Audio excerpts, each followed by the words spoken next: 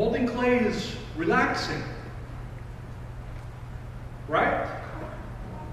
Unless, unless you are the clay.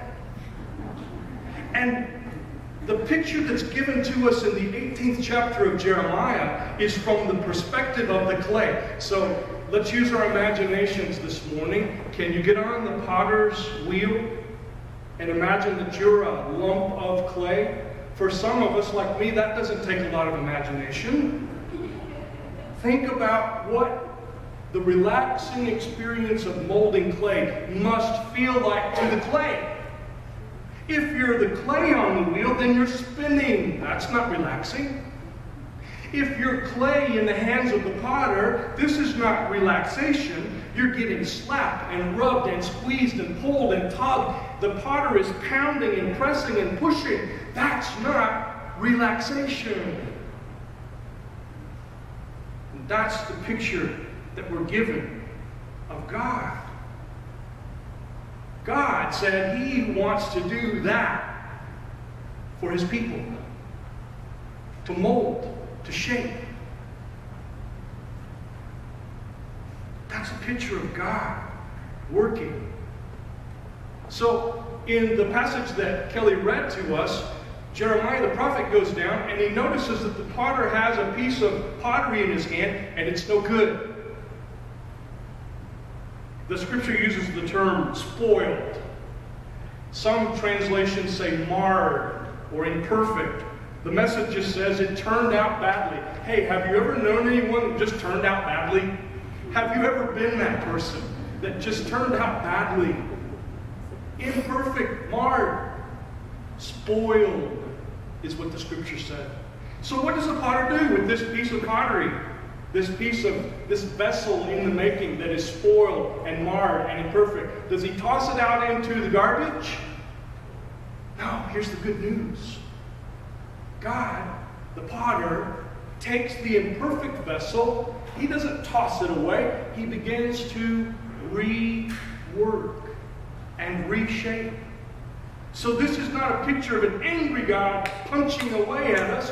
This is a God who, from a broken heart, read the passage, the context. This is God aching in his heart, begging his people to come back and to place themselves on the potter's wheel where he can, he can mold them back into the relationship that he so longs for with his people. Read it in the third chapter, verse 12, where God says, Come home to me again. Come home, for I am merciful I believe that God does His work in our lives through the circumstances of everyday living. So, some of you are thinking ahead. So, Pastor, you're saying every time I get a speeding ticket, that's God at work. Every time I back into the neighbor's parked car, that's God doing His work, right? Is that what you're saying, Pastor? Are you saying every time I get the flu, everything something goes wrong, that's God working? And I would say, no, that's not good theology. Amazing how many people operate that way. Every bad thing that comes, you blame God. God, why are you doing this to me? I do that too, by the way. That's bad theology because God is revealed in Scripture as a God of good gifts. God is not the author of bad things. God is the creator of good things. So every bad thing that comes into your life is not the hand of God. But here's what I want to say to you this morning. Could it just be that when bad stuff happens, it happens to all of us, could it be that in that moment, we are at our teachable moment? God, when I backed into the neighbor's car, that is for me a teachable moment. It's a moment when God has my undivided attention. When things are going right, I, maybe it's just me, I tend to forget.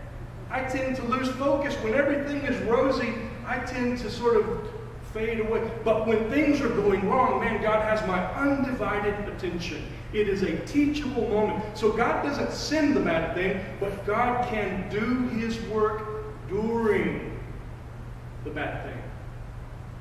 This is my suggestion to you this morning. God is not the author of the bad, but He can do His work in our lives during the challenging, pounding, pressing moments of life. Now, some of you have gone ahead to the 11th verse, and you're sitting there wondering, what does this mean when God says, I'm shaping evil against you? Read it for yourself, Jeremiah 18 11. Another translation says, I'm forming disaster for you. This is God. This is the word of God that comes from the prophet to God's people. And I would love to have that conversation with some of you this week to, to talk about what does that mean that God is forming evil against his own people. That's what the scripture said. We'll get into that later. But for this morning, what I want to tell you is this God, even in this case, was not out to destroy his people, he was out to renew his people. Not to destroy, to renew. In fact, even in exile, even in exile, when the Babylonians came in and conquered the southern kingdom in 587 and hauled the elite off into captivity in Babylon, even there was God still with them, yes.